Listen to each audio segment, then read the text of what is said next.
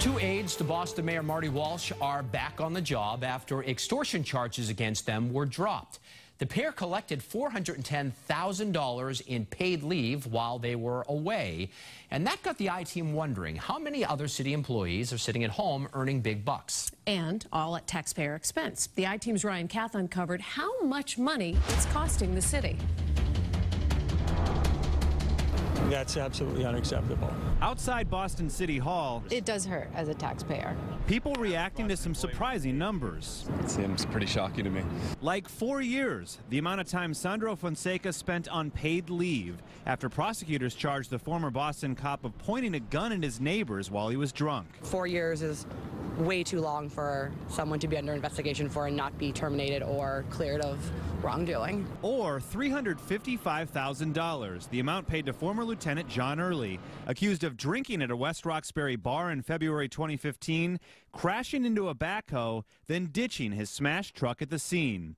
Early collected checks at home for two and a half years before the police department fired him. I'd like to get my money back. Over the past three years, the I team found Boston City employees have collected more than $5 million of paid leave. The most surprising thing to me was the amount of money involved. How could this be? Greg Sullivan, a former state inspector general, is now research director at the Pioneer Institute. He says public workers enjoy protections that are unheard of in the private sector. It's just very shocking to see.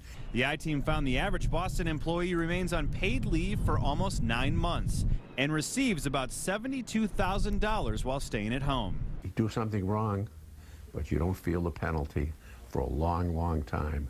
And while you're waiting, the checks keep coming in. The majority of the employees work for the Boston Police Department, so we sat down with Commissioner Bill Evans. I think the average person in Boston is going to say, that seems like a really long time. We have to get it right, and sometimes that takes too long, and I'm frustrated by it. The commissioner says a lot of cases get dragged out in court and added that officers have due process rights spelled out by collective bargaining and civil service rules. I think we're doing a good job of policing our officers, and we're not afraid to bring them to court. Do I wish it went quicker? Yeah. I wish there was a better way. Taxpayers just have to accept this. No, I'm not saying accept it, because we can always improve, and we'll look to improve. Outside the police department, there are also cases like Fred Ahern, director at the Curley Center. It's been almost two years since seven-year-old Kaiser Willis drowned at a city summer camp. The DA's office concluded its probe last May. The city has already settled with the family, but the mayor's office told the I-team the internal investigation is still not wrapped up. I think that's too long. Like, especially if this kind of money is being paid out. This has to be corrected.